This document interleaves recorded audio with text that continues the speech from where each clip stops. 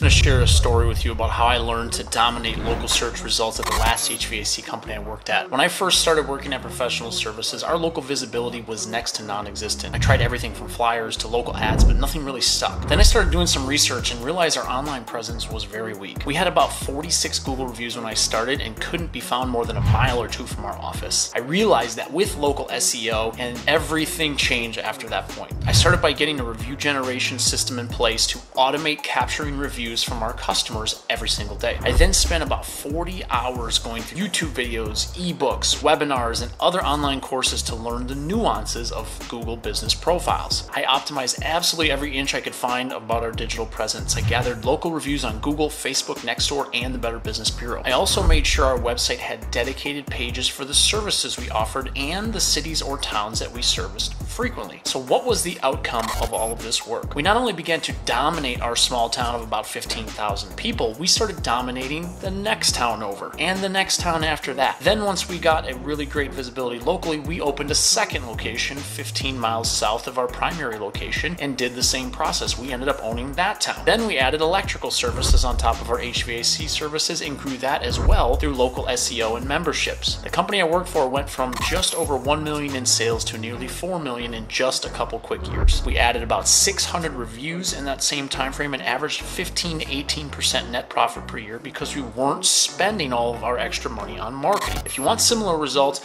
book a consultation with us today or follow us for more proven strategies.